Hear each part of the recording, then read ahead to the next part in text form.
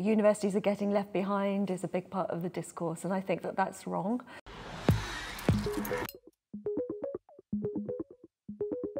My name's Siân Bayne. I'm Professor of Digital Education at the University of Edinburgh, um, but I also um, have a university-wide role as Assistant Principal for Digital Education, um, and I direct our research centre in digital education. We have quite a long history now of digital education at the university. Um, so 15 years ago, we began to invest quite substantially in digital education practices. Um, and since then, we've developed a big body of kind of online distance uh, provision.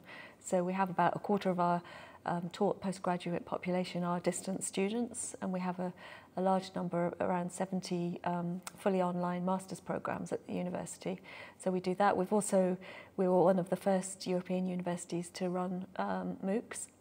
Um, and we now have about 52 MOOCs um, across all kinds of different subject areas.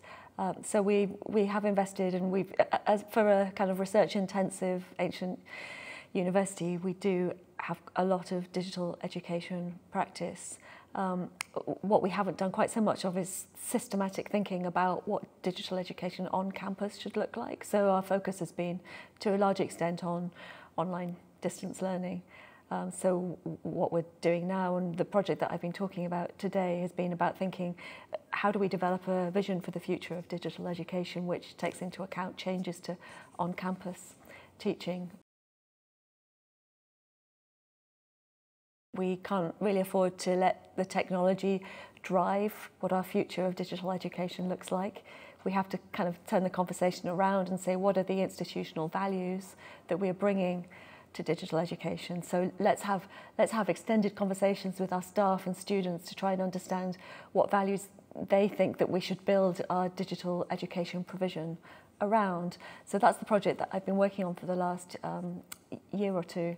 And we've had some fantastic insights from uh, the university community about, about the values that they want to bring to bear, most of which are focused on kind of putting the human at the centre of our digital education provision, um, not designing technology for the sake of technology, not necessarily designing technological solutions to practice, but actually saying we're going to use technology to make our community stronger, to open up our students to new ways of doing things, um, to try and shift people away from the instrumentalizing education to actually thinking about their time in university as a time to experience difference and to develop and change and grow as individuals. Um, so that's, that's the approach that we're taking at the moment. I think actually we have allowed the biggest influence on digital education to be technological change. Uh, so we've kind of, we have thought about digital education in terms of things like keeping up with the latest trends or students who are you know so-called digital natives are going to demand particular kinds of technological environments to learn in um, you know universities are getting left behind is a big part of the discourse and I think that that's wrong I think actually uh, universities are full of colleagues, academics, scholars who are fantastic teachers and know what they want to achieve with teaching. And digital is often seen by those people as a kind of distraction. And what we need to do is, is speak to those people, speak to their students and better understand what is, what is it that they want digital education to look like, not what does you know, Silicon Valley and the edtech industry want digital education to look like. So I think we have we have a, a conversation, we, we need to have more conversations at an institutional level about that values-based approach. So, yeah.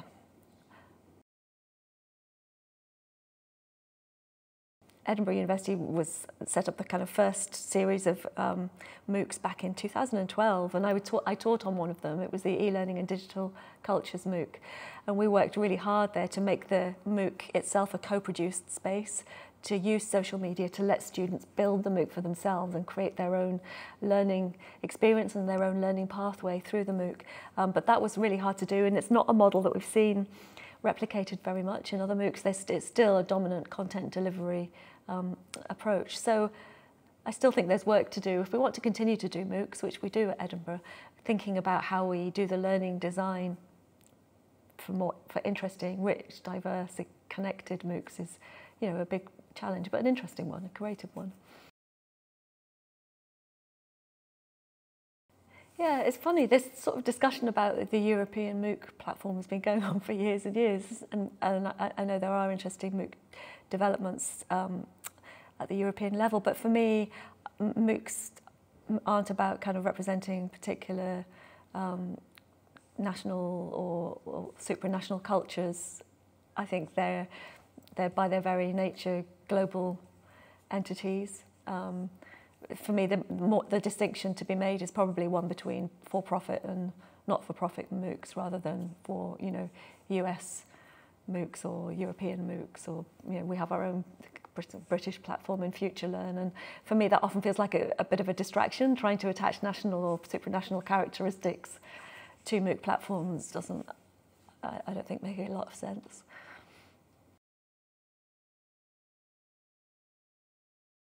I think to a large extent it's probably the edtech industry, which is a massive multi-billion kind of euro industry, and I think that that's um, that's fine. It's great that there's so much creative creativity going into thinking about developing new products and services for education.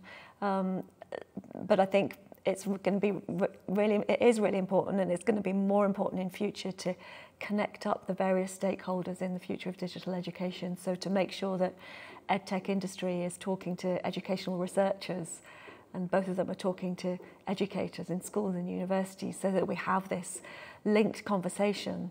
Because I think what we're often finding is that um, you know, edtech entrepreneurs are developing really interesting new products, but not necessarily through close contact with the current research in the field. And researchers are often sitting in their university departments doing their research, but without necessarily connecting to um, intensive work with teachers who are actually going to be using um, these educational applications or with edtech developers who are going to be developing them. So I think we need to get better at having those conversations between stakeholders.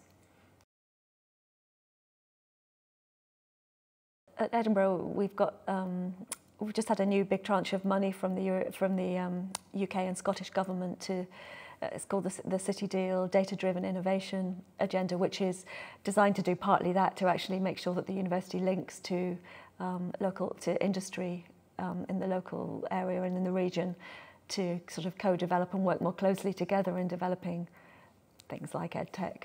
So I think things are changing, and I know there are other comparable um, uh, initiatives as well all over Europe So I think we do need to get a bit better at that. But I think we also need to remember to include teachers in that discussion.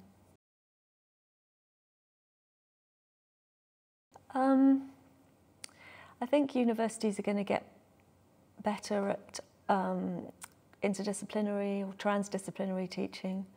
I think there's a clear trajectory towards developing new frameworks to enable academics to burst out of disciplinary silos and to offer new kinds of um, teaching which connects across multiple disciplines. And I think we know now that we need to do that if we're going to address some of the global, complex global challenges that we're currently facing. Um, so I think in interdisciplinarity, I'm sure there is going to be an intensification of data and the ways in which we use data to understand teaching. Um, and I think that could go one of two ways. It could either go uh, in, in a way, Hendrik this morning was talking about the white box and the black box. I think we have a, a moment where we either where we can think about data as being transparent, of being open, about being in the hands of the people um, who are generating it, or we can continue down this path of kind of algorithmic opacity, surveillance, um, surveillance culture, surveillance capitalism. So I think we it's going to be an interesting five years, I think, to see how we how we deal with a highly datafied society. And I think I, I, I'm, I'm hopeful that, that we're going to be travelling in the right direction, but I think universities have a big job to do in teaching students the importance of being critical about the way in which data is used. Um, not just personal data, all kinds of data. The ethics um, and uh, privacy issues around the use of data is a massive topic for universities at the moment. So if we get it right, I'm hopeful for the next five years. If we get it wrong, not so much.